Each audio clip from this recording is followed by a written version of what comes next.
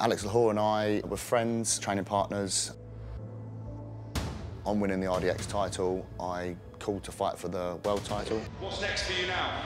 Listen, don't ring me unless it's to fight for the world title. We sort of fell out knowing that we'd end up fighting each other. Alex took things very personally.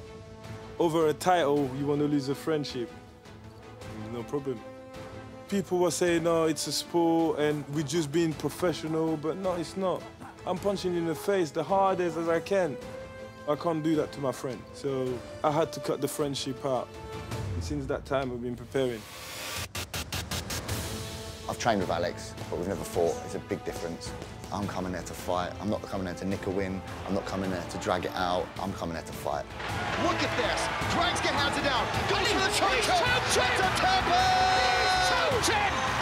Choke to Temple. I personally think he's just scared, and he knows I'm the one person who's going to take that belt off him. In the sport and the industry we're in, people get hurt. Alex Lohore knocks out Nathan Jones in London.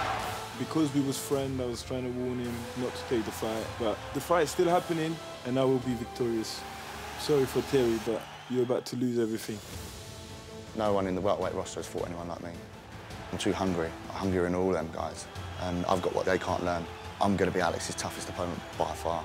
There's nobody tougher in this division than Terry Brazier. Heart is not going to be enough, because I've got a heart too, and I'm all-rounded. Lohore submits Richard Miley. So what are you going to do about that? Alex the Kid Lohore!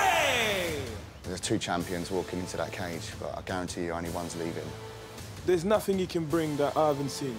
He's good, but he's not good enough to beat me.